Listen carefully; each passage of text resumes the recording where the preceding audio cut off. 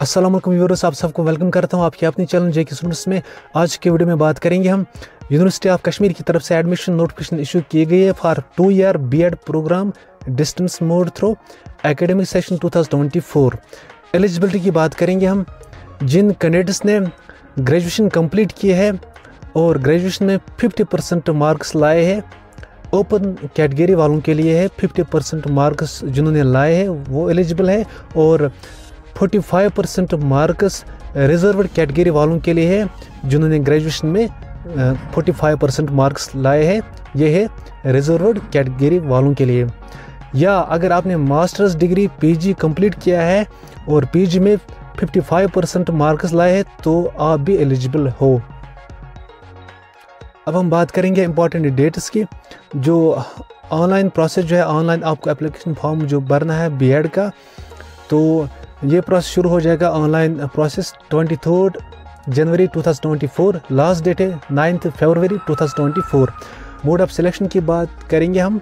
आपकी सिलेक्शन जो हो जाएगी, जो कि academic merit of the qualifying examination की बुनियाद पर। तो जो कि क्वालिफाइंग एग्ज़ाम जो है आपका ग्रेजुएशन है।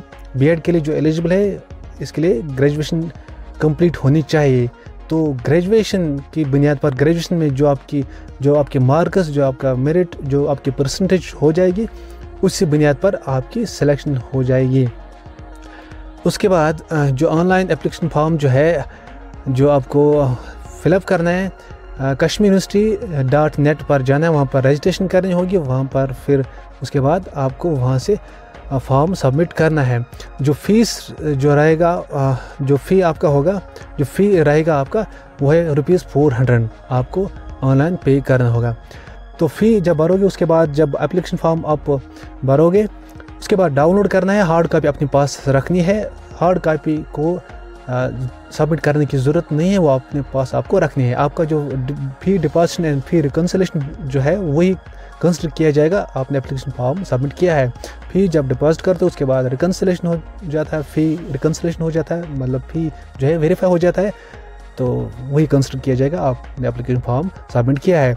तो आपको क्या करना है?